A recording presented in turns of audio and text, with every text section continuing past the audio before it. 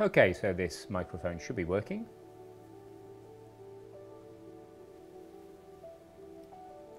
We have negative monitor on this mic, but that is by design.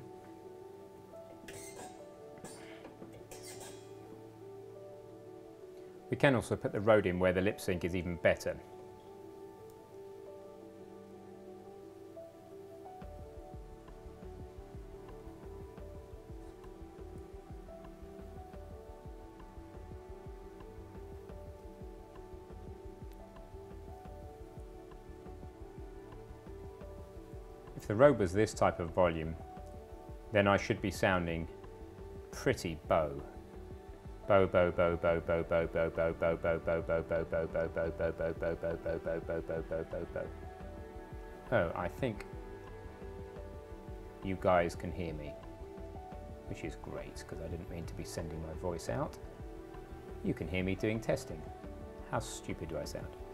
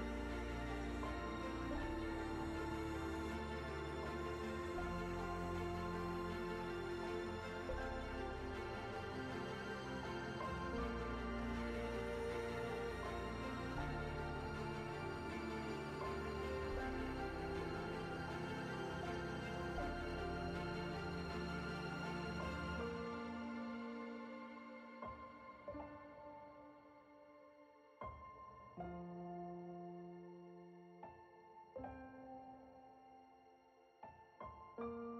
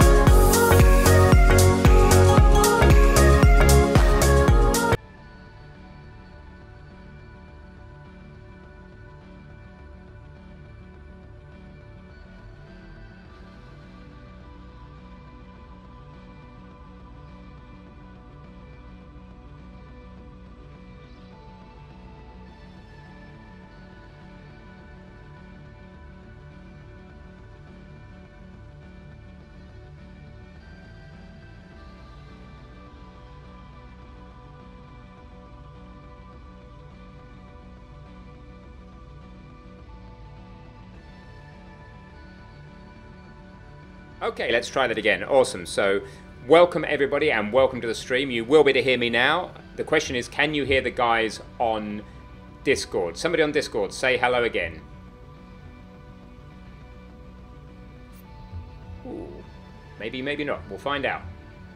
So, Twitch people, tell me, can you hear the people on Discord. If not, I'll just relay their questions. It doesn't really matter. Not a problem. Tonight, the first uh, order of the day is to unleash a whole bunch of new uh, backer on the Maths for Games Kickstarter. The link's up at the top of the stream here. Uh, that'll be happening automatically at 10 p.m. So we can have a quick chat about that. Make sure they're sane and make sense. If they don't, then I'm going to have to do an emergency fix up. Um, and uh, then we will have a chat with everybody, answer questions. We can answer question, ask questions on Discord but I won't be replying there uh, on Twitch. Um, and both of those chats are aggregated together over here somewhere, there. Um, and you can also ask questions in voice on the Discord Voice Lounge. Uh, whether or not you're going to be heard on the stream is a good question. I'm going to fiddle around and try and get that working uh, as we progress through the stream. Hopefully, you will. Uh, hopefully, you'll be able to hear that. So, somebody on Discord, just shout up again. Let's see if we can get you out to the stream.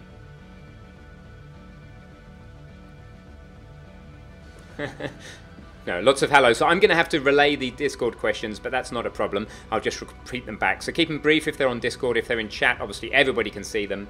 A few different modes we can use tonight. We can use sketch mode. So if we want to uh, talk about projectiles again or whatever else we're going to talk about, then I can answer questions with projectiles. Uh, the other type of mode we can do is we can take a look at the Kickstarter, see how that's doing. Uh, permanently, you're going to see the current Kickstarter value in the bottom right of the screen. And also we can hop onto Chrome and look at any website we wish this evening. So they're the different modes we've got available to us. So I have a first voice question coming in on Discord. What's the question? How can I help?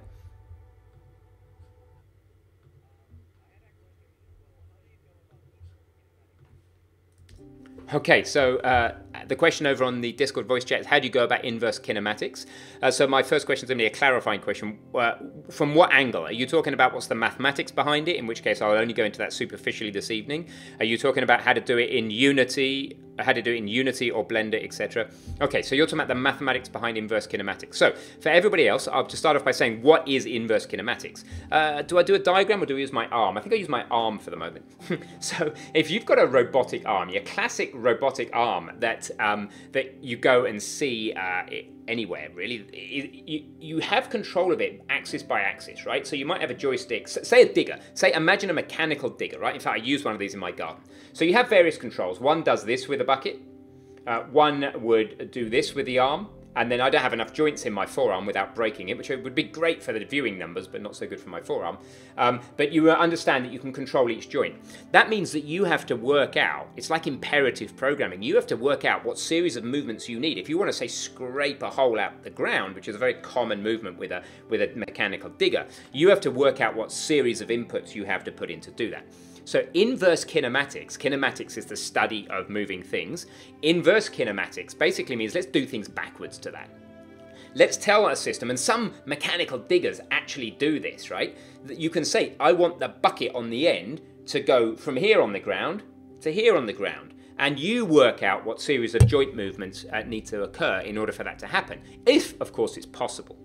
So that's the beginning. That's what inverse kinematics is. It's saying to something like Unity, Blender, or Unreal, uh, and I think Mike used it in the lamp section in Blender, for example. I want the end of this arrangement of armatures to do something. Typically, it's the end of it. I want the hand of this skeleton to move, say, in a circle in 3D space. What does the shoulder, the elbow, and the wrist and even the, the spine maybe need to do in order to achieve that moment movement within the constraints of, of all the joints. So that's the, an overview of what inverse kinematics is. Before I answer the rest of the question, let me just see if anybody's got any um, questions on what inverse kinematics is. And thanks for the awesome question, by the way. I really appreciate it. So I'm just going to see if any voice questions come up with that. Also, while fiddling and seeing if there's any chance I can get you guys coming through to the stream, because it'd be lovely to have your voice on the stream. Somebody on Discord, say something else for the purpose of testing, please. Or don't. Either way. Okay, don't. That's fine. Maybe I can't hear you now. Maybe you are saying something and I can't hear you because I've stuffed it up. So let's try that. Yeah, you're going to need to use push to talk on, on Discord. Yeah.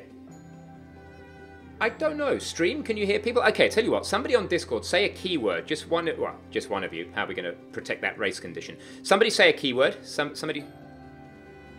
Okay, something different to a keyword. Is what? Say it again. Okay, somebody try and... anybody hearing that? Audio and video slightly out of sync. Yeah, it will be slightly out of sync, Mikey, this evening because I can't delay the video for whatever reason. My audio is just rushing, rushing in. So, um, no, I don't think it's coming through the audio from Discord, which is a shame. I will just check the obvious for my audio sync, and then I'll finish answering questions about inverse kinematics. So, uh, shouldn't be a lot of audio out of sync issues. How, are you guys on Twitch? How are you finding video versus audio? If I like clap my hands, I did test it before the stream. It was good uh, in the test. So. All right, not hearing Discord doesn't matter. We'll get that going one day. I've never managed to get that going, never managed to get that audio routing through. So I, I think I explained what inverse... Yeah, yeah, so you guys on Discord can hear me fine. Uh, what I'm saying is that Twitch people can't hear you guys on Discord. so I'm here with like a, a, random set of voices in my head, so I need to be careful. I'm trying to do this mainly for the Twitch stream. So um, that's an overview of what inverse kinematics is. Anybody got any questions like on that? Video is 0.5 to 1 second behind audio. That's a long time. I will uh, sort that out. There you go. Try that. I should have adjusted the video and audio sync. Give it 20 seconds, should settle down. Um, um,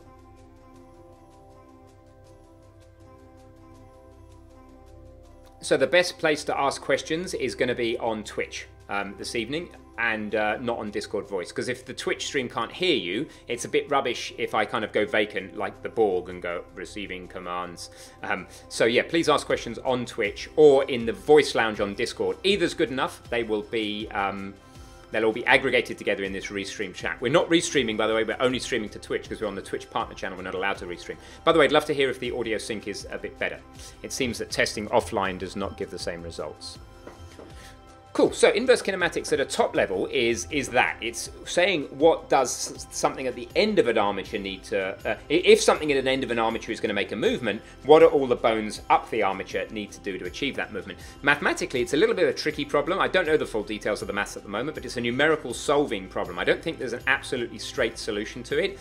It's a multi-body problem. It's not as simple as just saying well, obviously you do this because there are many ways you can achieve a given result. I can rotate my arm like this uh, in a circle, but I could probably do that same circle with some other awkward pose. So there are multiple solutions. You need to find one of the solutions that's good enough that uh, works within all of the constraints. And that would be some sort of minimization problem where you continue to try different things and have some way of working out, some people call it some gradient descent, we'll talk about that in the course, have some way of working out whether the parameters you've just chosen uh, are getting further, nearer or further away from the solution you're looking for, and then iterating until you get it very fast inside the computer. But good question, and uh, something I'm not, I can't go into too much detail about, to, more detail about tonight, because firstly, I don't have it fresh on the top of my head. Cool. So, um, Another question. Audio is ahead of a video. Uh, still, the audio is ahead of the video by one second. Wow, that's a lot. All right, well, let's uh, sort that out. Give me a second.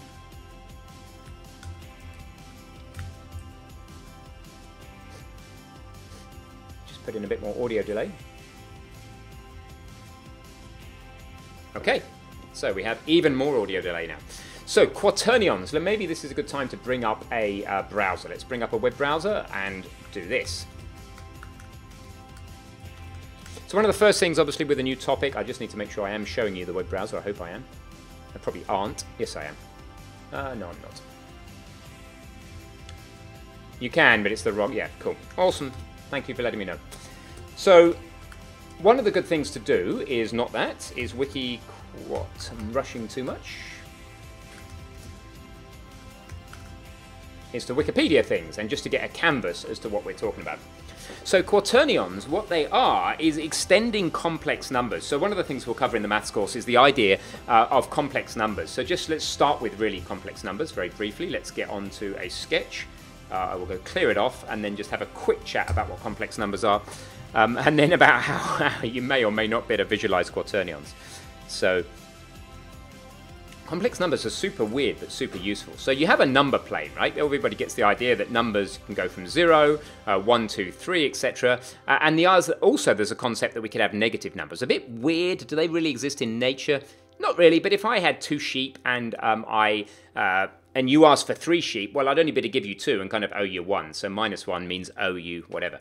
They're real numbers, these things. They're just real numbers. We're used to those. Uh, there's another set of numbers which mathematicians came up with called imaginary numbers, and they sit perpendicular. They don't.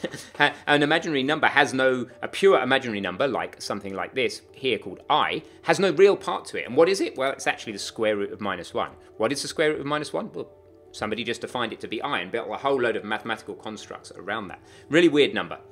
Um, but really, really useful. And we'll be talking about this in the maths course a lot. What quaternions do is they start to extend the concept of i and say, well, we could have actually other um, numbers. We could have uh, other mathematical, uh, sorry, other complex numbers that are orthogonal to these ones. Uh, I are different yet again, which is super weird. So you're adding weirdness to weirdness to get um, the basis of quaternions. So if we go back to Wikipedia, what it starts talking about is these matrices of things like the real component, this one thing here, and then i, j, and k, each of which are different types of imaginary numbers.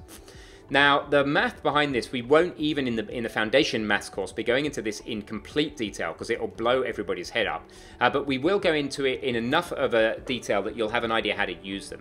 The main thing to take away about quaternions is that they are super useful uh, that firstly, that they're just one of many different ways of representing rotation. You can use Euler angles. Some people might say Euler angles if they want to mispronounce it.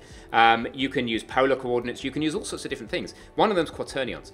And one of the cool things about quaternions is that they interpolate very nicely uh, in a spherical uh, space. So if you're trying to go from one rotation, say this arm rotation, to another rotation, if you try and go between this rotation and this rotation in Euler angles, what you tend to end up with is a really weird path. Like it might do something really strange, like go completely the wrong way. Uh, whereas what quaternions tend to do is they tend to interpolate from one uh, rotation to another in a pretty natural looking way. So that's one of the reasons we use them. There are other reasons you use them. The underlying representation of them is a matrice that is four wide, uh, which is really fast for the computer to compute, and so on. So I don't know what the original question was. That was a little kind of uh, canned gob off about uh, quaternions, but.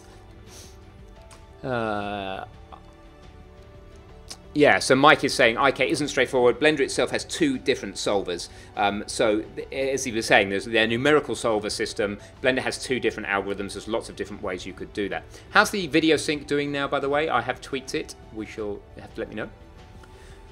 Uh, so, uh, is it possible to use some of the award money you guys got from Epic to lower the stretch goal on the maths? A uh, good idea, but not really. We spent all of that award money on uh, a probation period for Gavin, uh, which in with which he has uh, remastered the first couple of sections and the Unreal course, uh, the C++ course, and built us a a Blueprint, Unreal Blueprint course. Unfortunately, he's leaving after the end of the probation period, so that's that Epic, that smaller Epic grant gone. Question regarding Perlin noise. Could you elaborate a bit on uh, how to sample 3D Perlin noise and how to use it in Unity to make procedurally generated terrain? A um, little bit advanced for this stream, uh, but Perlin noise is, uh, again, let's Wikipedia it. Perlin noise is a, a, one form of randomization. It's based on smooth step. Let's just go wiki Perlin noise. In fact, if we look briefly also at the Maths for Games Kickstarter page, uh, firstly, just to seed you your, your brains, guys. Uh, here is the new pledge matrix. Do take a look at that. That explains about the, the new levels. The mini degree, the mini degree plus two, and the mini degree live are the kind of levels that are pretty cool. You get everything with those, and they're coming in 45 minutes automatically. But further down the page, you can see Perlin noise as an example here. The, the steps to Perlin noise, you're going to need to understand things like lerping, which is, like I just talked about, interpolation. You're going to need to understand smooth step, a specific type of interpolation and building on that. You're going to need to understand gradients and vectors, etc. Eventually, it gets to Perlin noise. So, um, Perlin noise, a, a two-dimensional representation of Perlin noise, may come out something like this. It's quite a good representation of clouds. Let me just check I'm sending the right thing to the stream. I am. Clouds can be approximated by something like per Perlin noise, although the other noise methods are better for clouds. Um, and you can imagine that if you took that funny uh, little cloud map that I'm showing at the top right of the screen there, if I click on it, and you were to use that as a height map of the terrain, you'd never be able to generate caves or anything because each of those colors would, uh, would just represent a height. So, for example, black might represent zero height on your terrain, and white might represent uh, a thousand feet or a thousand meters, let's say 3,300 feet high. And then any other color in between would represent the valleys and, uh, and, and hills. If you were to take that noise that you've generated, which you can generate by reading the Wikipedia page carefully, and they've probably given you a sample algorithm they have, and what languages it's in, it's in C, which wouldn't be a big step to C++ or C sharp. Um, you may be able to get a height map like that out. So one thing you could do is write an offline program, produce some Perlin noise like that, and import it into Unity as a height map. That would be how to do um, offline procedural generation, not at runtime. Uh, you can also use procedural generation in uh, Perlin noise at runtime, uh, and then you'd have to be manipulating the mesh at runtime. Brees actually made, Brees was the guy who started the uh, Unity course with in the first place. He actually made a very brief Unity course on uh, procedural generation, but unfortunately gave up on it and left. So love to get back to it before too long. All right. Um, only instructor that managed me to teach me some programming is, I don't know if that's me, but if it is, that's great news. Um, what's happening with the C++ course? Maybe somebody's asking there. Somebody else is taking over. Yet we're doing that very soon. You don't know who it is yet, but you'll find out very soon. Um, remember, all the original content is still there. So, how is the uh, Mikey's linked to a YouTube video, which presumably is an update? Oh, he's linked to a video about procedural planets from Sebastian Lague. That's awesome. Great guy, Sebastian, in South Africa. Um, yep, he's really cool. Super Wig, welcome.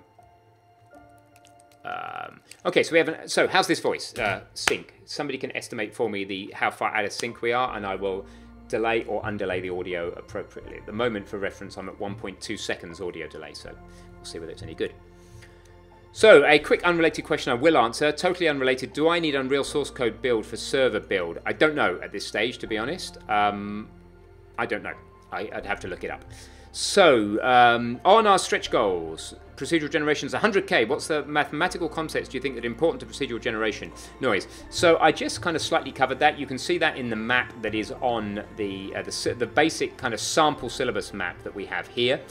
You can see that you're going to need to understand um, interpolation quite nicely. You're also going to have to have a pretty good understanding of vectors. And further than vectors, we're going to need to understand ideally something about uh, calculus, ideally partial derivatives, which is saying if I'm on a slope and imagine being on a hillside and it goes up and down in lots of different directions, right? So you've got, it goes, it's kind of got an east-west up and down to it and it's got a north-south up and down. And you're standing with your compass and maybe if you go north, you go downhill and if you go south, maybe you also go downhill. Maybe you're on like a horse saddle. And maybe if you go east, you go uphill and if you go west, you go whatever, flat. Who knows?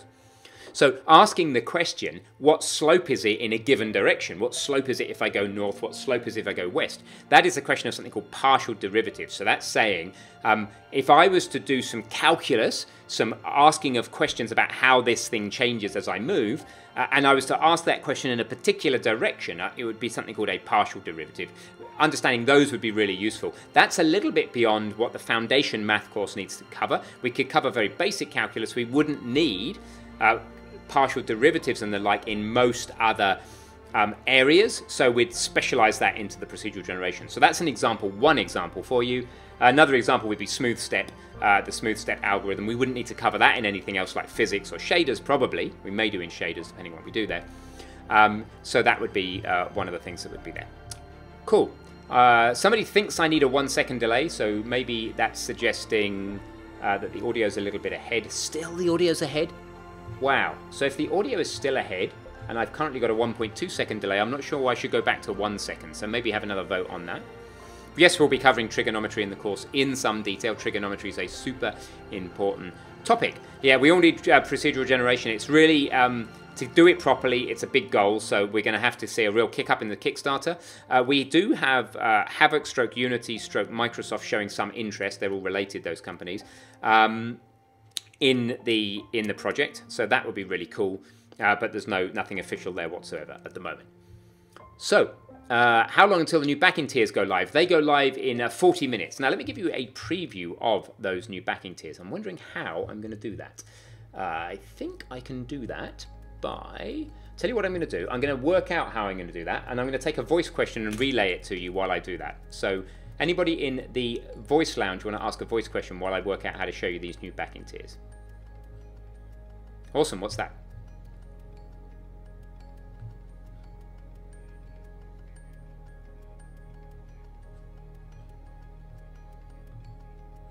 Okay, cool. You so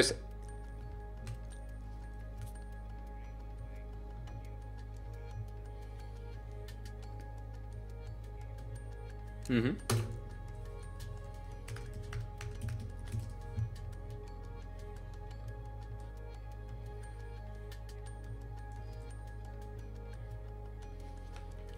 Okay. Awesome, thank you. I have to have thank you very much. I have to interrupt. The, so, so I had a second question. Let me just relay the first one. The, the first question is about ShareMyGame.com. The good news is we're actually partnering with another company to provide Share My a better version of ShareMyGame.com, something that's much more feature complete, but not quite as complicated to use as Itch.io. Um, and that's happening in about a month or two. If ShareMyGame.com, the question was, is ShareMyGame.com working now? Or the, or the, comment was, maybe there's something wrong with it. Uh, there may well be something wrong with it right now, but I will push Sam to get it going. And I had another comment in the voice lounge. Hi. Yep. Oh, thank you very much. So Mark, uh, Irresistible Jelly, kindly just came on in my ear in Discord and said that uh, Share My Game has been fixed uh, this morning, which is awesome. So hopefully that answers that voice question. All right, so I Oh, I have another voice question. That's cool. Keep it really brief so I can relay it out to Twitch. That'd be great. And uh, for the next stream, I'll see if I can get you guys' voice straight out there. Go for it.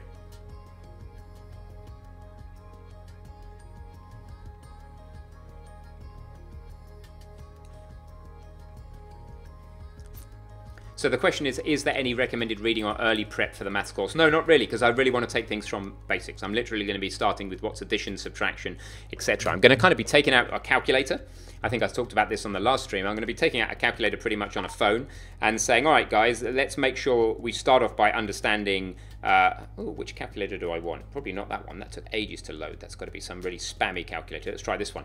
Um, so I'm going to be start off by saying, look, if you've got a standard calculator on a phone, uh, what do the basic buttons do? Add, subtract, divide, etc. You might think, well, I don't need that. But if we get a good foundation in uh, things like multiplication, division, etc., then it's going to serve us really well. Then I'll turn the, the phone sideways and say, well, oh, a load of new buttons show up on most phones when you do that. Uh, what does 1 over x mean? What does 2 to the x mean? What does square roots mean? What does n roots mean? What do log mean? What do other logs mean? What does sine and cosine mean? So all of that stuff we'll be doing from basics and then we'll be going from there. Just learning those foundations really well is going to serve you super, super well. You're going to be able to read stuff about maths better, you're going to be able to search for things about maths better, and you're going to have a lot more confidence and ability to do maths things better or betterer than you did before. I still don't know how to give you guys a preview of these uh, new backer tiers. Um, I think the easiest way is to not show to, is for you to go to the Kickstarter, and I thought I'll do it for you. And for us just to examine this pledge matrix together. So of course there'll be new boxes coming up here on the right, pledge boxes, but then they're not going to say really anything else that this pledge matrix doesn't say. So let's just zoom that right in, keep it nice and still and make sure it's super clear.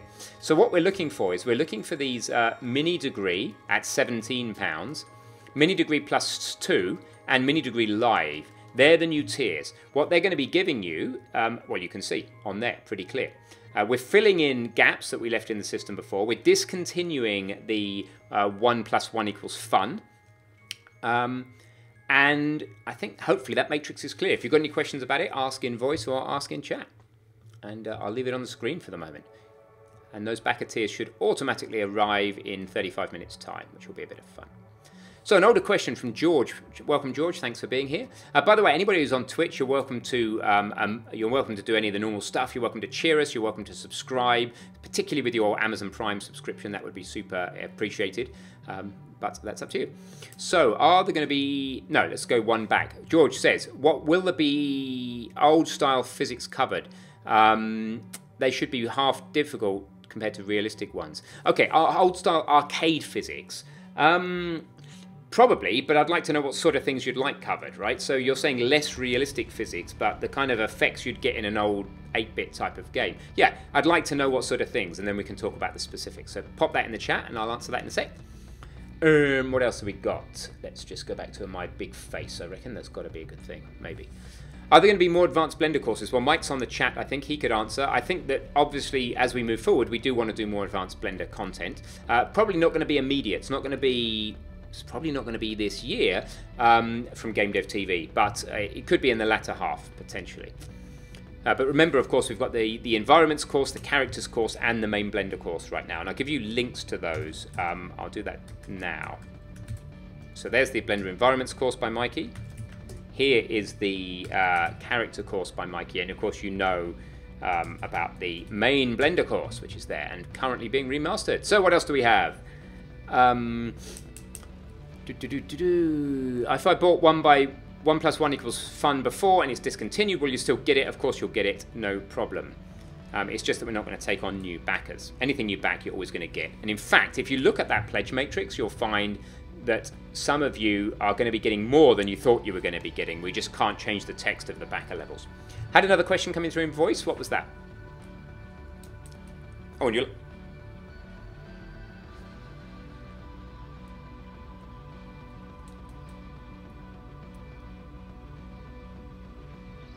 So the question was, um, Blender's good for 3D modeling? It certainly is good for 3D modeling. Awesome choice for a free 3D modeling program. Does it work with uh, Unreal as well as Unity? Absolutely. Slightly different asset workflow uh, for that, but you can you can do models for Blender or Unreal, uh, sorry, Unity or Unreal in equal measures for sure.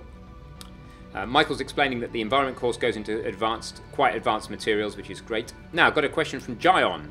Uh, if I pledge for Mini Minidegree Plus 2, when will the extra courses become available? In September or sooner? Can I really, because uh, you really want to get the RPG course soon. Okay, common question. I have actually added it to the FAQs on the Kickstarter here. So if I scroll down, whoa, this is a big font, but I guess for the stream that's appropriate. Um, do, do, do, when will I get access to existing Game Dev TV courses? I'll read it out verbatim. When the Kickstarter, when Kickstarter settle the pledges, about two weeks after funding. So um, mid to late July. You'll be given free coupons by email to access the courses on Udemy. So there you go. As if somebody had already asked that question, there is the answer. I'll leave the pledge matrix up on the screen and go back to my noggin. There you go. Any other questions? There's bound to be more questions. There are always more questions. Have another, another voice question? Go for it. Keep it brief so I can relay it to the Twitch crowd.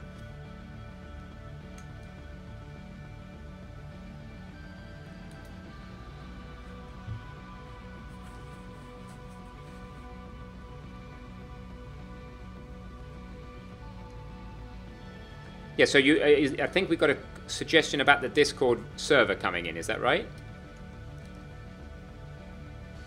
Okay, yeah, go for it briefly. Just understand that uh, all the time I'm not. Um, the, the, people on the stream can't hear you, so I need to be keeping them interested. So be really. Give, go for a really quick suggestion, or put it in uh, put it in the lounge, and um, the moderators will pick it up, and uh, we can probably do something about it shortly. So actually, let's leave that as it's not about maths, but um, do put it in the chat. That's probably the best bet in the voice chat in the text chat rather. Thank you very much. So, will all of the courses in the match series be available to your lifetime members? In the math series, I guess that is. Yes, lifetime members get access to all our courses. Any course that we release on Udemy, uh, lifetime members will get access to. So, don't worry um, about somebody's apologizing. Jion's apologizing for asking a question that was on the FAQs. I did only add it to the FAQs a few hours ago. Will the maths topics that you'll be explaining be connected with practical examples in Unity or Unreal? Yes, um, not directly in Unity or Unreal. I'm going to be writing pseudocode, but the reality of that pseudocode is it's going to be basically uh, Unity C Sharp with the semicolons taken off, pretty much. So it'd be super easy to get to Unity, and anybody who's capable of writing C++ in Unreal will be super able to just look up the relevant Unreal math library um, and change it. I mean, it's going to be almost the same. So yes, it'll be totally applicable whilst, whilst remaining timeless, hopefully. Um, does the Voice Lounge work on an iPad? Don't know. Uh, if the stretch goals aren't reached, will there still be a potential of seeing them in the future? Yes, uh, we would approach things a different way and try again in the future, absolutely. I think we can get to the first stretch goal without too much problems, and the rest is going to entirely depend on how well you guys shout about the Kickstarter and share it, and how well you jump on these new backer tiers that are released in half an hour. We'll have to watch that total pledge level jump up. I assume that total pledge level is live. Let's see if it's updating. I think it is. I think we're just, not much is happening. Basically, what's happened at the moment is most people uh, from the community have been kind enough to back us, and now what we need to do is create a bit of excitement outside the community. So sharing the Kickstarter is the best way to do that. Um, now the video is ahead of the audio almost one second. Ah, okay. So let's fix that. The video is ahead of the audio almost one second. Yeah, so the of a second. That's what I always had in my testing. I'll go back to that and uh, suspect it will sort itself out. Let me know, guys, about that in a few minutes once you hear the difference, the shift. What is a mini degree? A mini degree is just a fancy way of saying you're going to learn a whole load of stuff that would be similar to what you'd learn in a degree, but you're going to do it uh, at home and it's not going to cover as much as a degree because uh, there's not going to be as many hours of tuition as you'd have in something like a degree.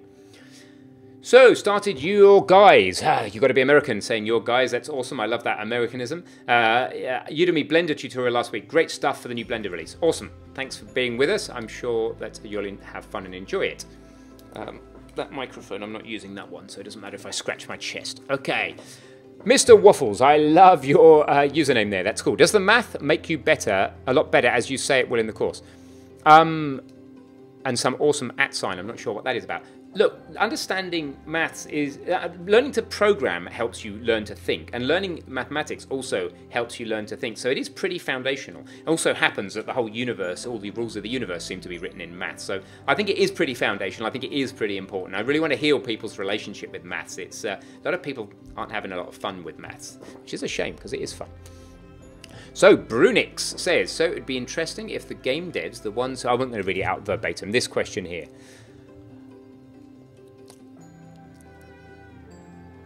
Yeah.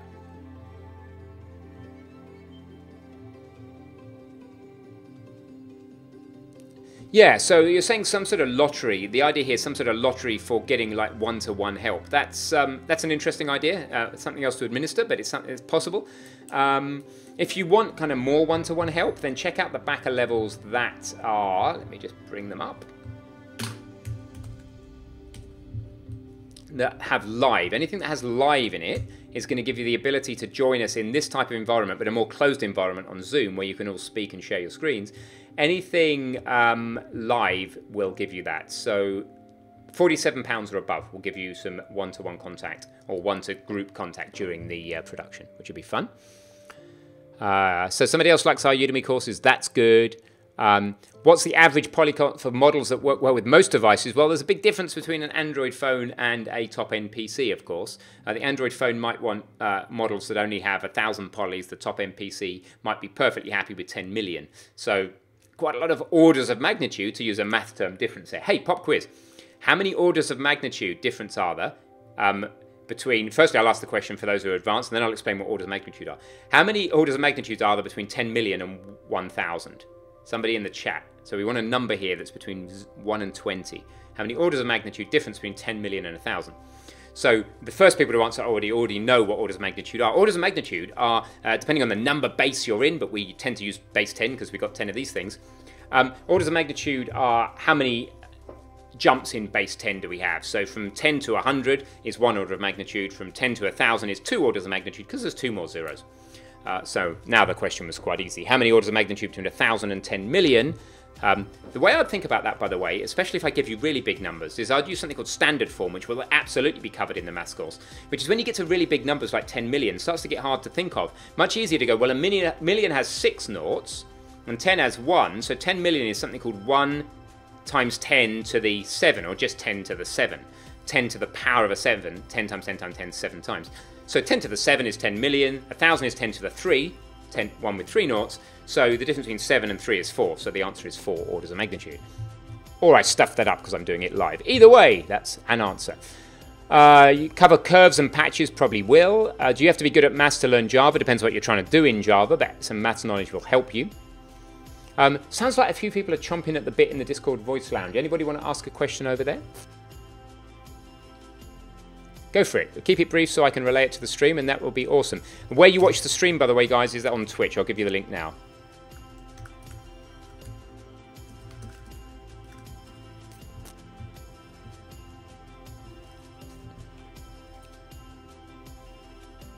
Yeah, so the first question is how much of the course is complete and how much needs to be done. None of it's complete because I only just started production on it um, as soon as it funded, which was a few days ago. So once it's funded, it's like, cool, let's get into production.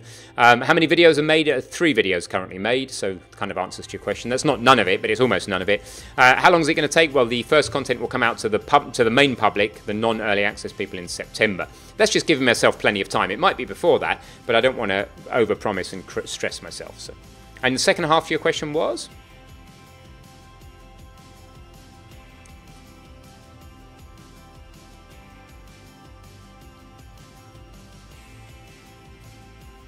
Yeah, so do I draw um, inspiration from live chats to put content in the course? Absolutely. I think I like to think that we listen to everything you guys are saying and consider it. We don't necessarily always do it, but we consider it. Uh, one of the questions is, is there a roadmap? Um, what I have added in here, which is uh, pretty dense, but it's not dense as in stupid, or it may be, but dense as in like lots of it in a little place. It's just under the squiggly spider diagram, which by the way is a totally incomplete syllabus. It's just an example. The complete syllabus would look crazy is a dense paragraph of other topics, um, and this is not this is not exhaustive, but it's a bunch of other things people have asked about. So if you want to have a look at that, see topics covered will include, and uh, that will answer some more of your questions. Where should we go? Let's go. I'm going to stick the main Kickstarter page on the screen and look for some more questions. How am I doing on the stream, by the way? It's pretty. Um, I could probably do with a moderator. Uh, it's pretty tricky to manage all this, uh, but seem to be doing it. So let me know how you think it's going. What and, while we're midstream, what's one thing I could be doing better that I can change now midstream, like a volume level or like a sound delay or like lighting or like uh, speak slower or like smile more or whatever. What's something I can change during this stream? One thing that I could do to make the stream better. So three, three, four, four orders of magnitude. Four, I think, is the correct answer. So, what's the best way to learn from the Unity documentation? You know what? That's a good question. And I think that learning from the Unity documentation isn't necessarily a great way of going about it. Uh, I think you might be better uh, picking a project, and we're pretty good at suggesting projects for you in the courses, and then diving into the Unity documentation as you need to.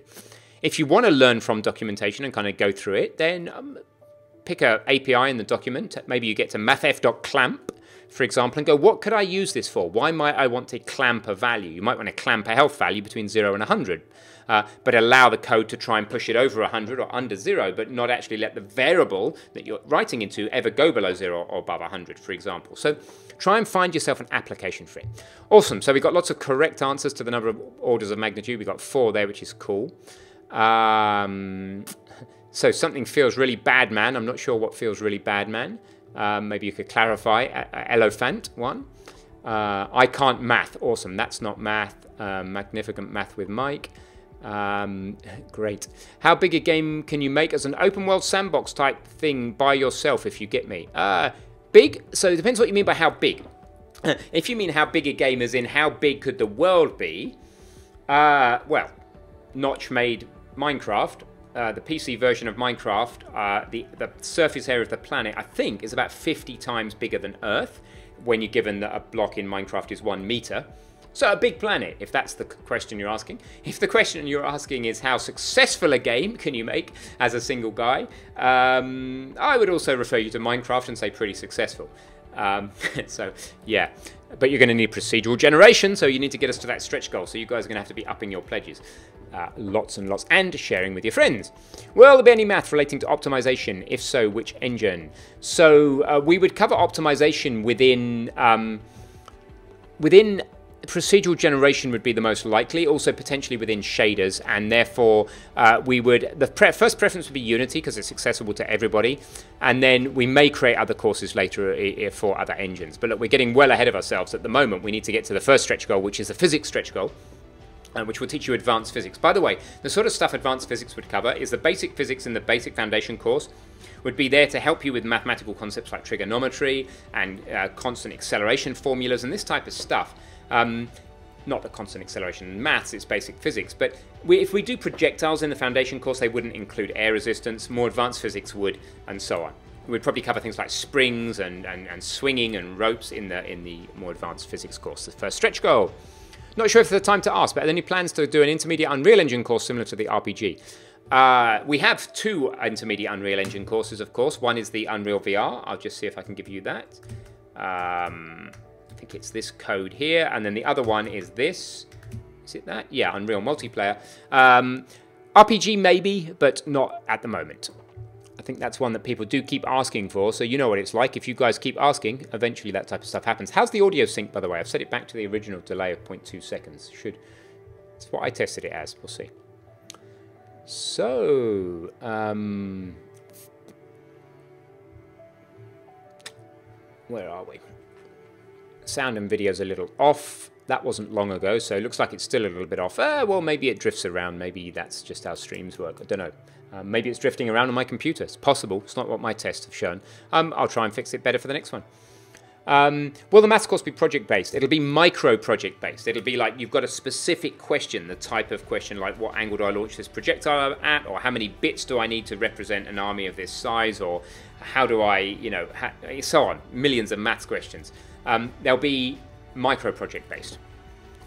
Um, I'm not sure what this conversation about being a group of three and we can make. Oh, okay, you'll be a group of three. We want to make a really huge open world game. Um, we left the web development to one of us. Uh, blah blah blah. How long will it take? And it'll be successful anyway. You're dedicated. Yada yada. Okay, I, I still don't know whether you mean you want a huge game as in uh, lots. What do you mean by huge? Hugely successful in monetary terms, huge in terms of the world area, which is mainly restricted by your algorithms and the uh, the memory and the limitations of the floating point limitations in your system, like 32, 64-bit, etc. Um, how much detail do you put in exactly? If you put a lot of artistic assets in, it's going to take a lot of time. If you look at No Man's Sky, uh, for example, um, I'll just bring it up on the screen actually, No Man's Sky, just so we know what, what we're talking about. So I'm sure you all know what No Man's Sky is, but just to put a visual to it and also works as a thumbnail when you when you're whipping through the stream later. This game, okay, um, and it's actually in the Kickstarter video. If you look at No Man's Sky, once they've designed the system that creates the basic world and terrain and trees and things, you get a huge amount of terrain for free. But then you look at the these ships and these characters and lots of other things. There's a long tail of things that are going to take a lot of uh, asset creation time, and they're the things that'll slow you down. And if you don't have them, the world can feel a bit uh, what did what did uh, No Man's Sky feel like to me when it first came out? Just a bit kind of lonely, I guess, and soulless um, until they started adding a lot more of that stuff in. So, a bit inhuman. So I'm trying to not miss the questions. I'm bound to miss a question. If I do, just ask it again. So, um, one of us is already blah, blah, doing blah blah blah. Okay, is Unity going to be using the maths course to illustrate some of the maths, like in the physics course? Uh, yes, in any of the stretch goal courses, um, not in the foundation course. The foundation course wants to be timeless and fundamental and without any of the distractions. I do a lot of work on paper these days. Well, not quite paper, uh, an expensive paper substitute called a reMarkable uh, product placement in the video. I don't work for them, endorse them. Well, I do endorse them, but I don't get paid to endorse them, and I also um, don't get any commission and whatever. Anyway, I love them. Uh, but paper's cool, and you don't uh, you don't get so distracted on paper. And I want to keep it more like that for the base maths course. Uh, are we going to address mat matrices? Yes, and that should be in there. I hope it's not in the planning image, but it should be in the paragraph below the planning image. Let's just bring that up. Chrome, there you go. Matrices is there. Yes, absolutely. So somebody's learning C++ on Codecademy. Um, now help you with object-oriented programming. Oh, now to help you with object-oriented programming. Cool. By the way, guys, unfortunately, object-oriented programming is not going to necessarily be the future of game development programming. Um, it's been the past because it's been a really cool way of letting our human brains map into code, but for performance reasons, we're going to probably, if Unity's uh, entity component system or the whole, um, they've got a whole new uh, way of doing things, entity component, job system, etc. Um, it's called DOTS, D-O-T-S, Data Oriented um, Something System. I'm not sure what the T stands for in DOTS. Somebody, what does T stand for in DOTS with Unity? I've forgotten. Um, but that is going to change things. We're going to need to write code in a way that's not so object oriented, it's more data oriented. So, you know, in object orientation, we're all about, oh, hide your data, show your methods. We're Going to start to have to shift our focus one day to hide your methods, show your data. It's going to be weird, it's going to be fun, and don't worry, we'll be here to teach you uh, the differences when it comes about. So, more questions. Do you think the course is redundant? Oops, boom. Lots of other questions came in. That's going to be tricky. Oh my god, so many questions. I have to drop down. Excuse me a second while I catch up with that. Anybody got a question in the voice lounge in the meanwhile? Yeah, cool. What's up?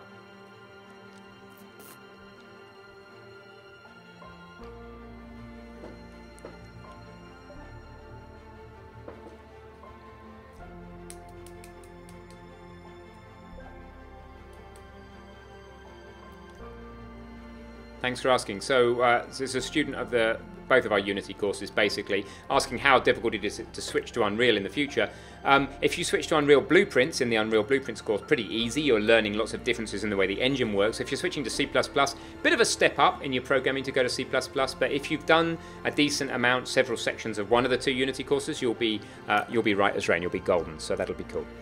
So is the course redundant for someone who's starting a computer science degree soon? The math course, um, if you're it depends where you're doing that computer science degree and how mathematically based it is. I would say so. Let me think of the, the kind of the top of the tree there. So Sam, if I think of a specific person, Sam did a computer science degree at Cambridge University down the road. Very theoretical, very very well taught. Uh, would Sam get anything out of the maths course? Yes. Uh, would a lot of it be something he already knows? Yes. So. Um, it would be a revision and it would be to answer one of the other questions really showing you how to apply that to the maths. Now, if it's not well taught and it's not fundamentally taught at your university or wherever you're taking the degree, then you'll get a lot from the course because we'll be looking at things in a very different way. So, who knows here what a tangent is? We talk about sine, cosine, and tan. You know, we're going to do things like really slow down and say, what is a tangent? Um, where did that word come from? Why is it called that? And so on. I can show you on a sketch if you want. I think I did it in the last live stream, so I probably won't. Uh, yeah, ECS is the next Skynet. Will you be doing more demos of the type of maths you'll learn? So yeah, what I'd like to do on future streams, what, I'm hoping is that I'm going to be able to move into a teach and chat or some other name um, system where I do quite a lot of my production on Twitch and I stream it live, and it's uh, to a heartbeat. Every half an hour, I do a lecture, and I try and do three lectures a day, and they're pre-published what we're going to be doing. And of course, it still goes out on Udemy and everything with all the quizzes. You still need to take the course on Udemy if you want to get the most from it. But there would be an element of it going live on Twitch. If you miss it, you miss it. If uh, you want quizzes, you don't have them, um, and so on. But it would keep me to account and you guys to account. And uh, and it would be a really pretty cool way of making sure you say to yourself look i want to take three videos a day and i'm willing to commit the time. If the time zones work out this type of time zone day uh, then we could do that which would be quite cool. So i'm going to try that and see how it goes. And i would literally go from talking to standing up doing a presentation showing up a slideshow actually teaching the thing and then answering some questions and then teaching again. So we can see how that goes. I'll probably only answer questions from twitch prime subscribers though at that point at the highest level so so, trying to keep this brief, but I don't know the proper terminology for, for, it, so here it goes. By the way, before I answer the rest of that question, one of the points about learning something like maths is that if you're in a new topic like maths or programming, one of the difficulties is even searching for the right thing, right? It's what do I go to Google and type? This is why learning the foundations of these things is so important. Because if you don't even know what to search for, it's really hard to get the good quality results you need. Anyway, just demonstrating that point. Well, this course also potentially teaches how to detect where to put a line or a material. To explain further, in our project, we'd like to have a vis uh, visible representation of the kingdom borders on a map. These borders should be able to move and collide with one another. Um, yeah, so one of the examples I give for that is something like, um, I know what you mean with kingdom borders. I usually use the example of something like the XCOM borders. So if I go XCOM 2, which I was playing earlier today, punishing game, just keep getting absolutely slapped. Um, but your kingdom borders are something like, not this, I don't want a YouTube video. What I want is something like this. These type of borders here, which say, you know, this player's here and he can move, I think yellow means in two moves, to uh, anywhere in this yellow boundary. And kingdom borders would be somewhat similar.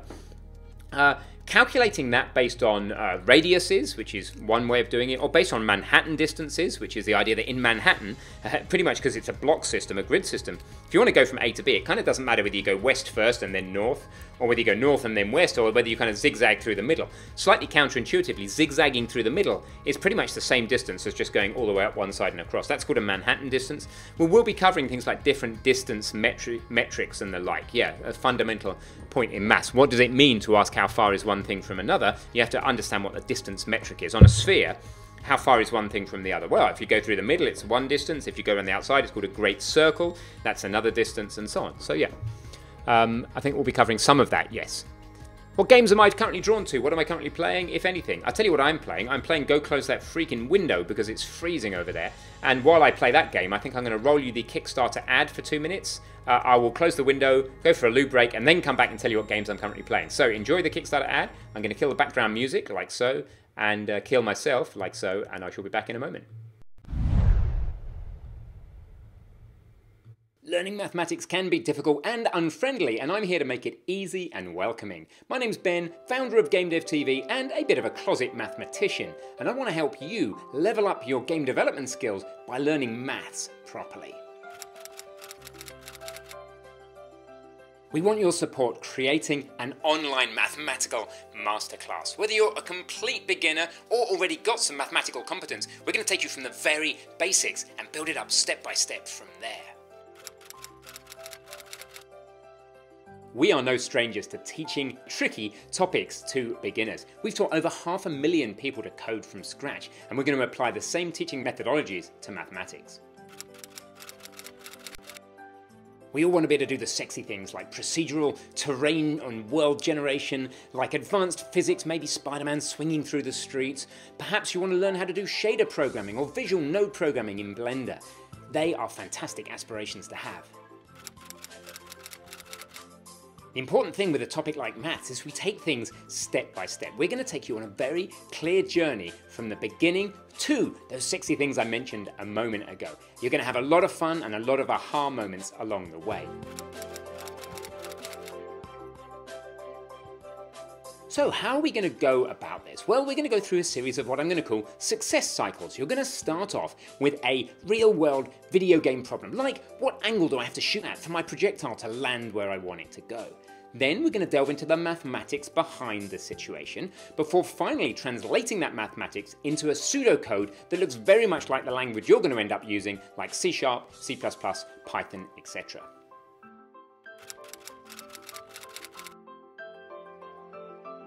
Mastering maths will make you feel really smart. It will help you level up as a game developer, and you're going to have a huge amount of fun along the way. So, back this project and help us change the way that maths is taught for all ages.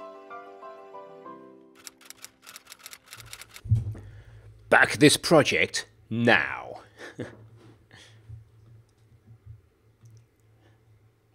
awesome. So I am back. Um, I'm sort of back, but my camera's not back. That's interesting. Huh. It's particularly interesting. What's going on there? Oh well. Seems my camera has packed a sad while we've been sitting here. We're going to have to live without me for a minute on the camera. I shall answer some other questions whilst recycling this camera, not literally sticking it in the bin, but turning it off and on again. That old adage, have you tried turning it off and on again?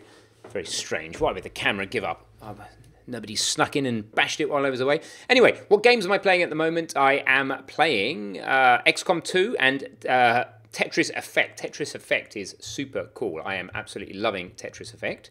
So, oh, I think I know what's going on. Do I know what's going on? I don't think I do know what's going on. Yes, I do. There we go. I need to just refocus myself and then we'll be there.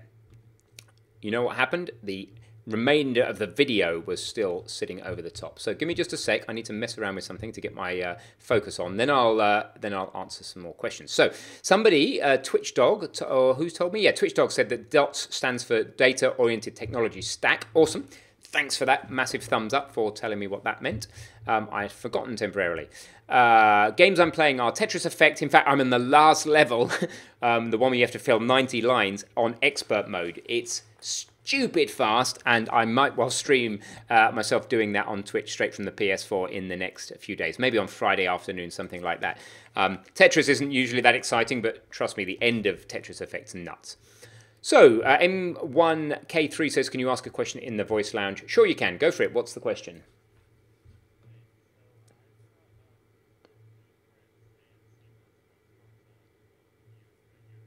So you have the Blueprint and C++ course on Udemy. Yep. So I'm just relaying it for Twitch. Yep.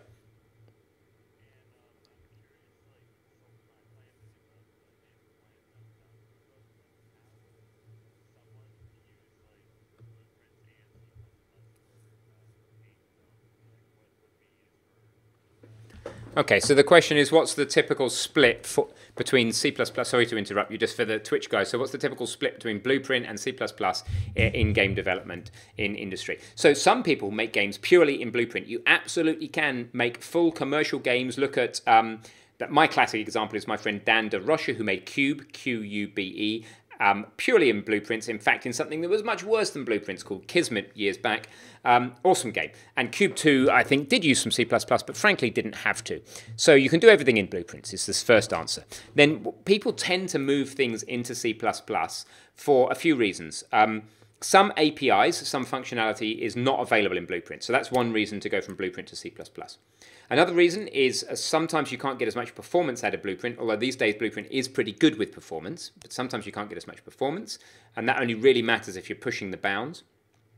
Uh, sometimes you want to, uh, you for, for sharing purposes, it's easier to collaborate on and see the differences and merge and, and, and teamwork on code, uh, as in text code, than it is on visual code, although there are tools for that as well. I'm a pretty big believer in visual code.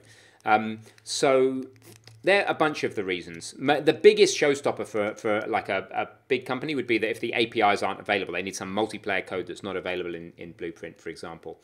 Um, also, Sam and I, for example, in Battle Tank in the Unreal course, we uh, broke into the AI system and um, and prevented it doing all of its work, prevented it controlling an enemy tank how it wanted to, which made it look ridiculous. It moved around in this kinematic way, um, which was not at all natural, and said, no, Mr. AI, you're going to have to use the same controls as the player.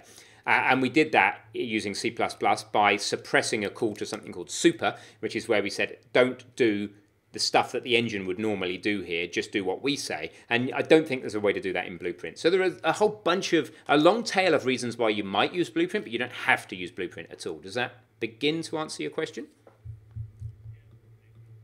You're welcome. I'm sorry that I have to rush people on the Discord voice uh, with their questions, but um, there you go. There you go. Bring the background music back in. How's that? So I'm going to rush through these text questions. Hey, those those uh, those new backer tiers go live. So I want we've got to get this thing to 13 to 15,000 during this stream tonight. So I'm just going to stay up all night, keeping my family awake. Uh, uh, so when those new rewards come out in about five minutes, you guys have got to jump on them, please. It'll be awesome.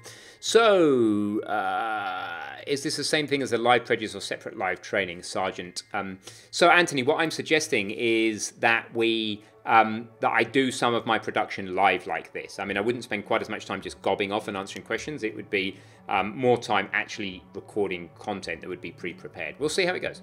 How many maths courses? I, it would be in addition to the voice calls that we will have as part of the live, um, the live tier um, unless there's such an overlap that there's no point in them in di being different. And then all we'll do is do it all live, but we'll only I'll only talk to those people who've paid for the live tier.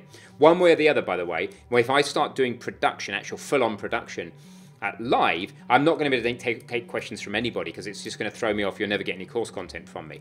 So it'll either be the 24.99 Twitch subscribers or people who've subscribed to uh, one of the live, uh, so the 47 or 49 pound or above in the Kickstarter. So uh, we have to restrict those numbers, otherwise it, it just I'll never get anything done.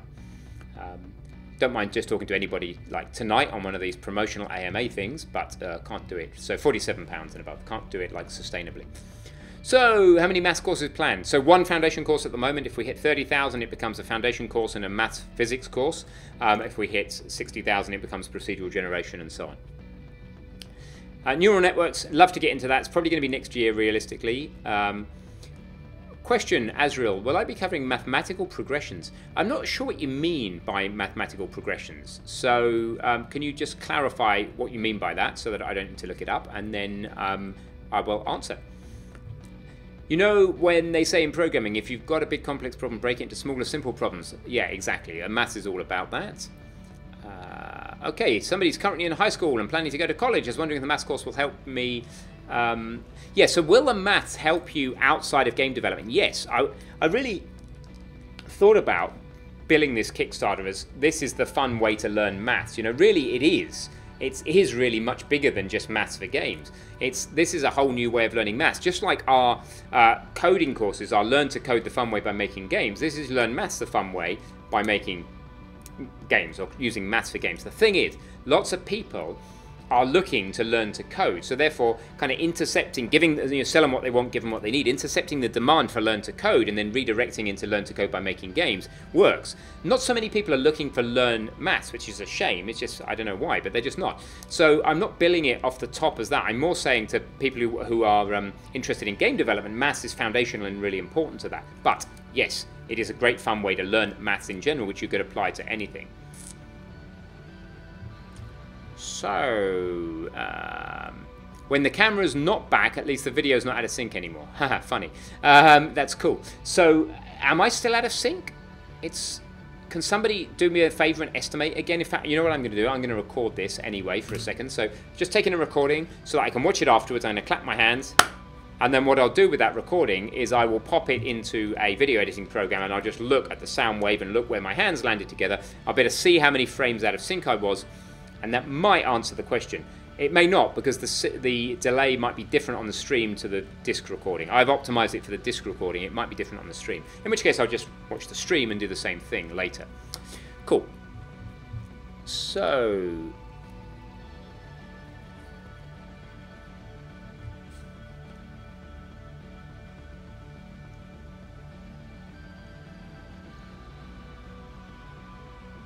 So you, I'm having a, a, a, voice come in on the Discord voice lounge saying that I'm out of sync by up to three seconds. So I suggest, I'm assuming you're saying that my uh, audio is three seconds ahead of the uh, video. Is that right?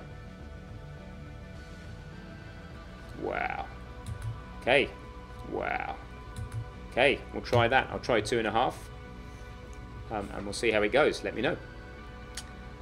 Cool. Shablow's asking about the C-sharp conversion for Godot. I know that's due now. So uh, we, it's obviously been delayed a long time. Uh, the reason I haven't converted the Godot projects into C-sharp up until Godot 3.1 is because the API kept changing. Now that Godot 3.1 is out, I don't really have an excuse anymore. Um, so I need to get on with it. So if I don't do it in the next few days, I've said to myself, if I don't do it this month, I'll simply hire somebody to do those conversions, and then we'll look at building the course content from there. So it'll just cost me money if I don't do it. So either way, it's going to get done, um, and uh, I'm going to do something about it in the next week or so. So I'm not saying it'll be done then. I'm saying the first thing I need to do is convert the code. Where are we? Uh, Okay, I think we're about. Oh no, we have just had the new tiers released. Let me check that the new tiers have auto released. See if it even works like that. So let's refresh the page. Go and have a look. If all this timing stuff has worked. Hmm.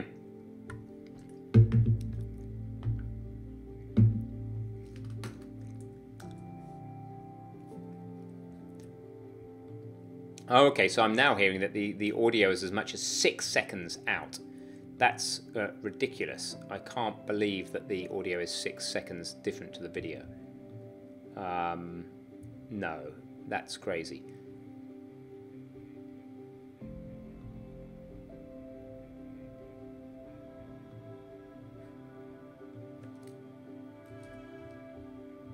No, no, it's no, no, no. I appreciate anybody trying. So the the person who's trying to help me with the sound sync is apologising. I've just changed it to six. I can't believe six is going to be the, the thing. So um, my panel isn't updating, apparently. That's a shame. It'd be, it'd be, a shame for that not to update. Let's try changing the um, URL, see if we can get that to update. Are you saying that the Kickstarter is doing better? 12597, I think it is. Oh, I see. 597, 591. I think it will update. It'll just take a few moments to update uh, because it's rendering, it's a different browser working inside Wirecast. So I think that may be the case. All right, cool. So where are we? Uh, have the new have the new tiers come out? They have come out. Uh, why has one plus one equals fun not killed itself? Don't know. I'll do that after the stream. I'm going to wind this stream up fairly shortly, by the way. Um, so just see where we are with the questions. Uh, somebody saying three seconds is way too much. On my video, you're more no more than half a second. You know a second on this stream delay. I'm going to leave it at that and uh, I'll worry about it later. Okay. Ah, uh, you know what's going on, guys. The concerns I'm getting about the uh, the voice the voice sync. If you're listening on the Discord Voice Lounge, you will hear my voice miles before the stream. If you're on the Discord Voice Lounge, I would actually suggest, unless you want to speak, that you don't listen there, that you listen on Twitch. Uh, and the people on Twitch probably have got it pretty right. That's what's been going on all this time. And then we've got different people with different stream delays on Twitch getting different results. Okay, cool. That has now understand it. Uh, made it understandable. So sorry about that, and hopefully we're back to within a fraction of a second. Um, that's cool. Okay, awesome. Thank you very much, Grand Grand Ad Jackie, for upgrading your pledge. For some reason, reading your name. Why did reading your name make me want to eat a hamburger? Like really, because I only eat once a day. I eat well, not really. I eat in a five or six hour window. So today I ate from maybe 11 a.m. to 4 p.m. for example. I eat lots in that time, but then I stop and I intermittent fast till the next day. So right now I haven't eaten for hours, and I've been using my brain. And I read your name and I really wanted a hamburger.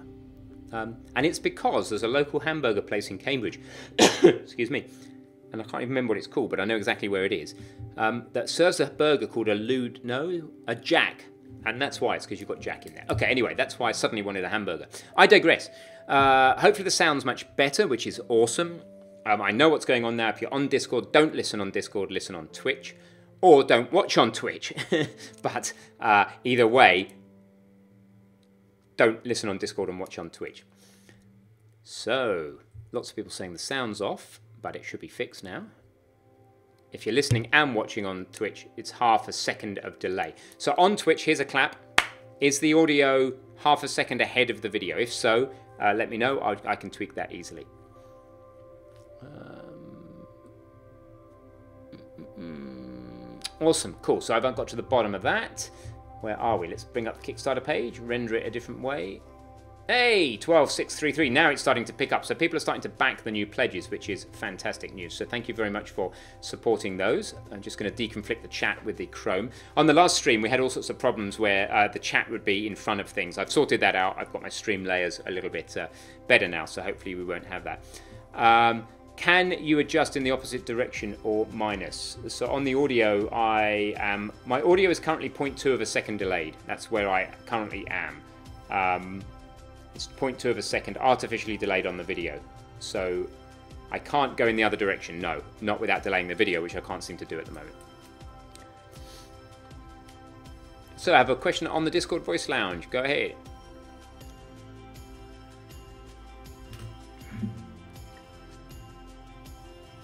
Hmm. Can we make game dev merchandise? You mean like badges that go on your top like this? Or badges that are loose like this that stick on things? Or a mug? Or... Um, yeah, we have got some merchandise coming. Um, I'm not quite sure... Yeah, absolutely. Merch is in beta at the moment. So we do have the idea of doing merch.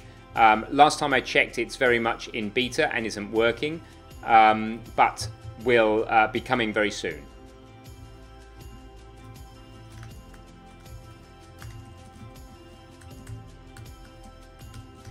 Just letting Lucy know straight away. Okay, I'll do that later. Cool, so yes, we have merch coming. Uh, it's on our website in the footer, but none of it works just yet, but coming very soon. Cool. So, uh, by the way, what is all Met stretch goal modules? Okay, so what we're saying with these new tiers, let me just go to the backer, backer uh, matrix here, is if you back at one of these new levels, like um, Minidegree, for example, you will get all access to stretch goal courses. So that means that if we meet, the, if the Kickstarter finishes at 30,000, then you'll get physics. If it finishes at 60,000, you'll get physics and shaders. If it finishes at 100,000, you'll get physics, shaders, and ProcGen.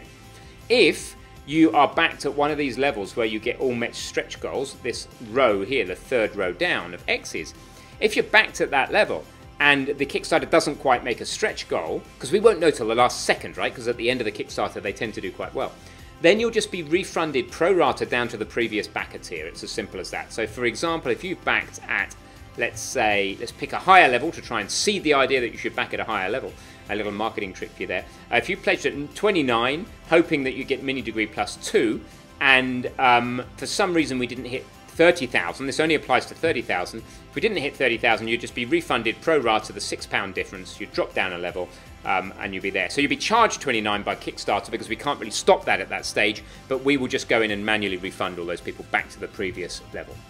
So you'll never, you know, always, the bottom line is what people you really, I think, need to know at the end of the day is you'll always get what you pay for. That's the point. Um, and we'll make sure of that. Where's the link to the Kickstarter? The link to the Kickstarter's here. Um, how do we do this thing? Well, I'm like a weather person. There.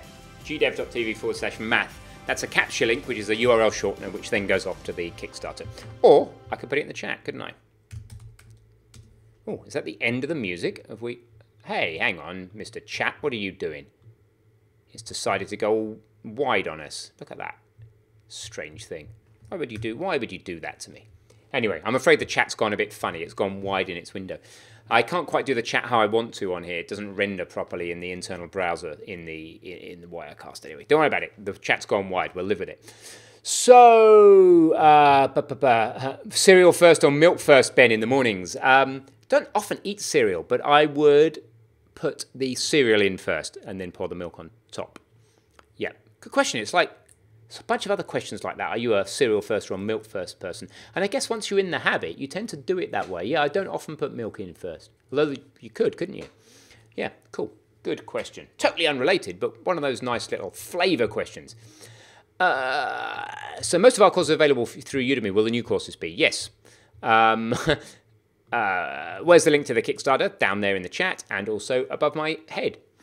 Um, it's a Gamasutra blog, very nice. Thank you for pasting that. Uh, milk first, serial killer. Sorry, I'm sorry, I'm a serial killer. Oh God, look what I set myself up for. milk first, so therefore I'm a serial killer. Yeah, great. Um, i bet there's a whole load of those traps for streamers, right? It's just make them sound a tit by asking them a question that um, I could come up with a whole load. If I if I was in uh, if I wasn't in polite mode for public consumption, um, I could probably cause significant damage with those sorts of things. Um, yeah. Cool. All right, guys, I think we're pretty much there. You know what I'm going to do? I'm going to talk about prime numbers for a minute, just because I know how to party. I'm just, uh, my son was watching Numberblocks the other day, a kids program, and it had a really nice way of explaining prime numbers. So I'm just going to share it with you. What's a prime number? Because what I love about prime numbers is it doesn't matter what number base you're in. So let's have just a quick chat for two minutes about prime numbers, because that's how we party. So a prime number is a number that is only divisible by by uh, 1 and itself. Okay, that's the definition of a prime number. And also, there's another exception, which is that 2 is the first prime, um, which kind of isn't an exception because it is only divisible by 1 in itself, but just as a note. So, what does that mean? Well, if you look at like, what are numbers? Well, you could think of them as blocks, right? Number blocks. So, if you have a number, 1, 2, 3, 4, 5, 1, 2, 3, 4, 5, 6. If you have a number like 6, and you say, well, 6 is either kind of 6, oops, 6 times 1, or another way of looking at 6 is you stack it up this way, and you say it's one stack of 6, right? So it's 1 stack 6 high. Cool, fine. But the thing about 6, of course, is that you can do this. You can stack it as 2 loads of 3. So because you can stack it differently without anything left over, it's not prime. All right, so 6 isn't prime. Fine. Let's take another number. Let's take 5 thing about 5, of course, is how are you going to stack 5 without leaving something left over? You can't, right? You can't divide it without leaving one left over. If you try, what do you get? Well, you get 4, and then you've got one left over. Pooh. That makes it not prime. That's the essence of a prime number. It's got nothing to do with base 10, the fact we've got 10 fingers. It, it's just natural numbers. It's a consequence of natural numbers. So any prime number works like that. Now, some smart smartasses might uh, try and think they've seen a pattern in this. I thought I saw a pattern in this the other day. Of course, the pattern of prime numbers isn't known, so I didn't. Um, but there's quite an interesting one, which is I think when you go like this, you go, well, if you go 4 by 4, what have you got? You've got 16. And then if you add 4 to the 16, you've got 20. And then if you add 1, then is that prime? Well, no, it's not, because it's 21, which is 7 times 3. And the thing is that you can take the 6 that you've got left over and redistribute them. So um, there's primes are pretty interesting and nobody understands the pattern behind them. But the bottom line here for a beginner is just, just write your number down and see if you can split it up into, um, into rows and columns neatly without anything left over. And you, you won't be able to if it's prime. That's the bottom line. So there you go. That's one way of looking at primes. Pretty, pretty cool. Nothing to do with nothing to do with number bases, nothing to do with anything complicated really. It's just can I can I make this thing into a rectangle? That's all you're asking with a prime number. If I've got a load of blocks and I've got a prime number of blocks, you can't make them into a rectangle. Job done. That's prime. What, how do you generate prime numbers? I don't know. Does anybody know? Not really. I mean, there are some ideas, but um, people don't understand the patterns of prime numbers. They're pretty cool. Any more uh, TED Talks in the works? Uh, no, um, not at the moment. Maybe they'll invite me back. Um, do I have a link to the, my TED Talk? I didn't think my TED Talk was great. I thought it was good. I didn't think it was great, but that's probably because I didn't prepare it enough because I like winging things. Um, but it was good, and it was in Berlin. And I'll just see Ben TEDx. Here you go. Uh, I should probably check this link. Let me check this link. I'll check the link live before I share it with you. Um, before I share it in the chat.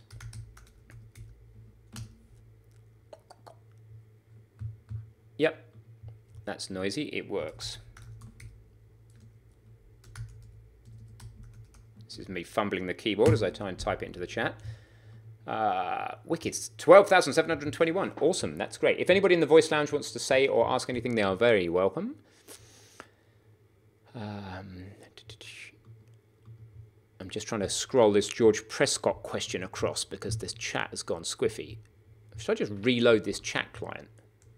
Um, is that going to work? No. Maybe. Maybe.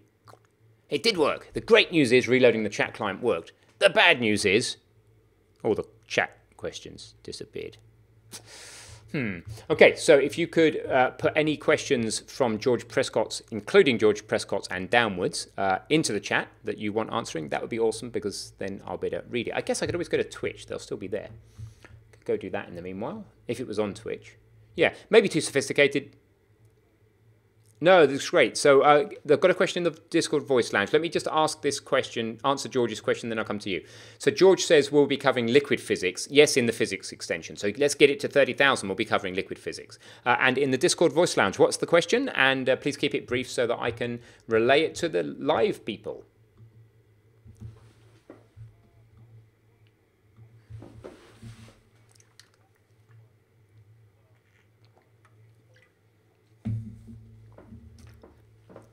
So, firstly, I love this guy's voice. Where's, where are you from?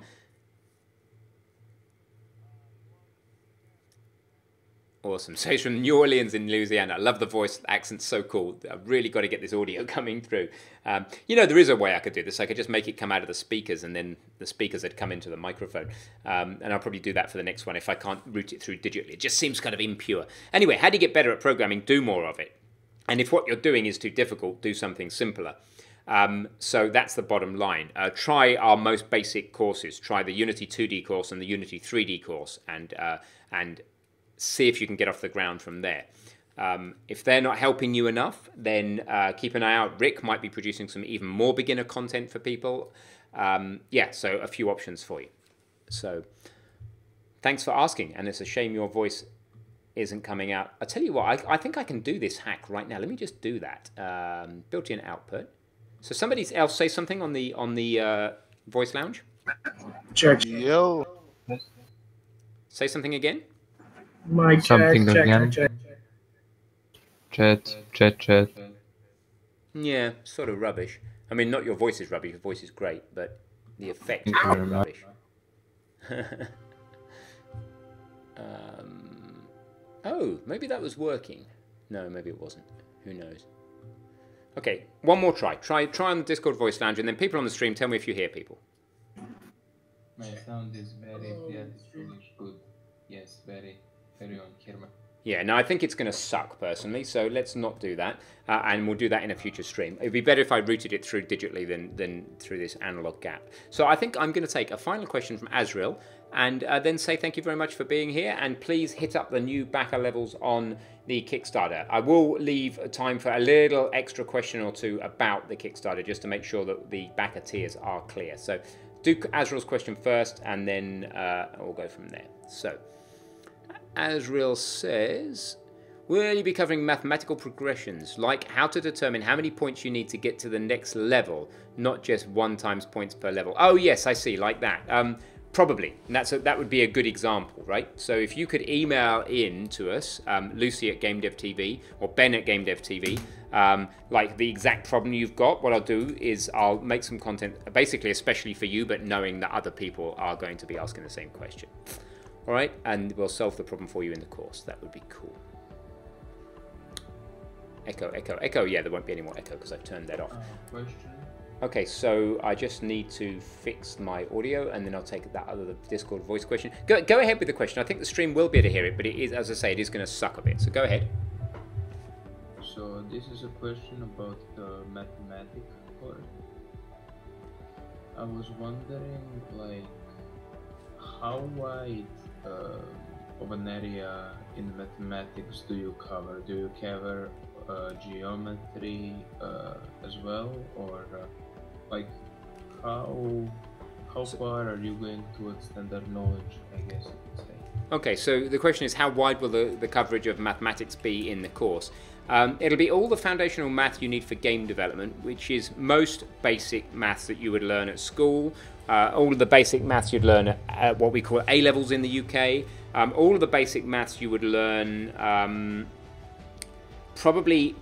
Let's try and unify it across the world. The sort of level of maths you'd need to get into a university anywhere in the world will get you to the standard of kind of university entry, and some of the content will be beyond that. It'll be first year university maths.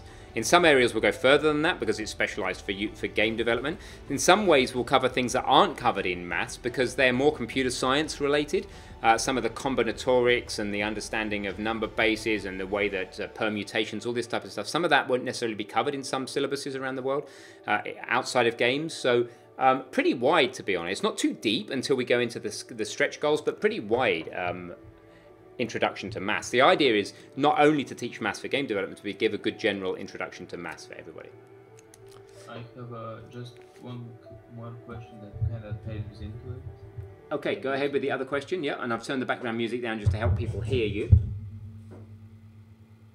I was wondering. Um, I am currently, I get, uh, as I said, in the 3D Unity course, and I was wondering if um, I need to learn more coding for the, I guess, math, or is it going to help? Is the math going to help me expand my knowledge of uh, programming as well, so to speak?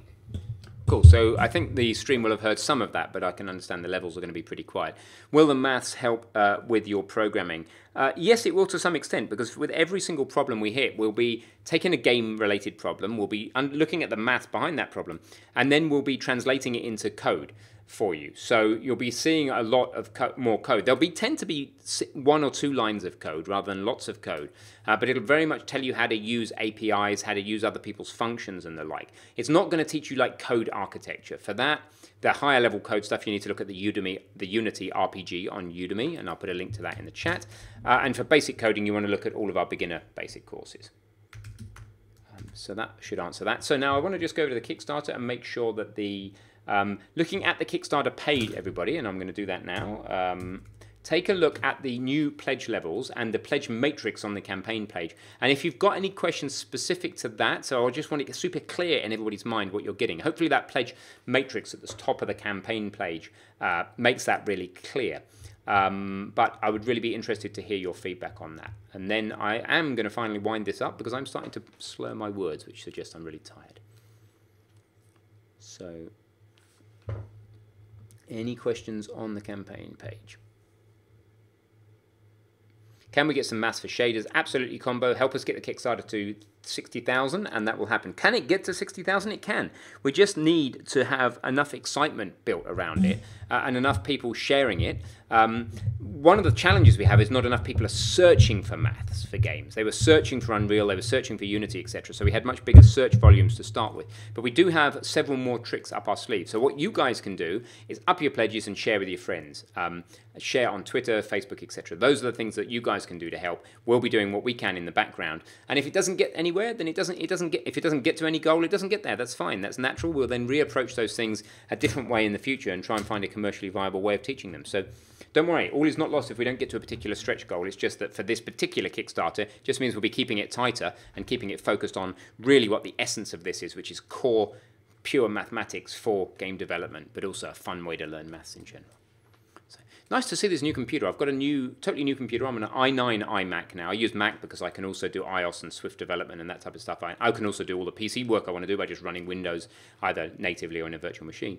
Um, but I went from a slow old i5 to a 8-core i9 5 gigahertz boost thing. Um, CPU used to be maxed out on these streams, um, doing all the stuff it's doing for the stream. It's now like, yeah, give me more. So that's pretty cool to see. It's like running at 20%, and I don't even think it's using all its cores. So uh, it's not. It's only using one. it's not using hyper-threading. So that's pretty cool. Okay, I haven't. I'm not seeing any more questions about the campaign, um, and are therefore going to start winding up. Uh, wondering what you would recommend for character modeling, I would recommend Udemy. Uh, see, uh, what is it? Um, this course here by Mikey. Many people think they can make cool games without maths. What will you say to encourage them to support the course?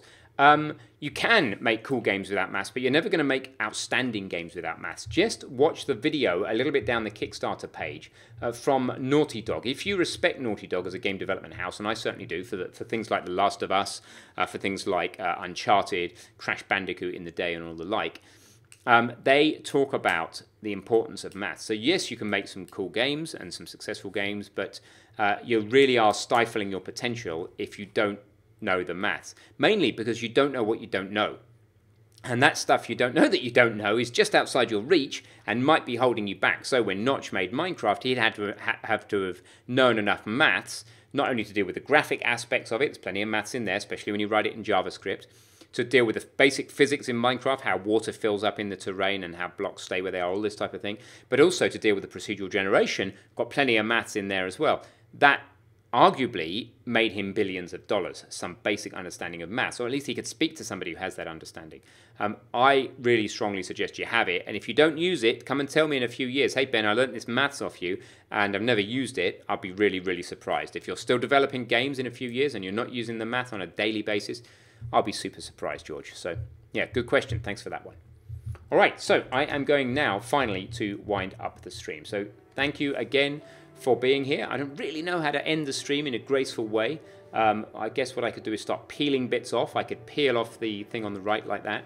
Um, we've got a bit of background music, so that's fine. Um, I might just leave it with music for the last minute to make sure there's a clear ending. So I'm going to play some louder music now as soon as I stop speaking. Uh, set the screen black. Thank you all for being here and see you, uh, see you soon.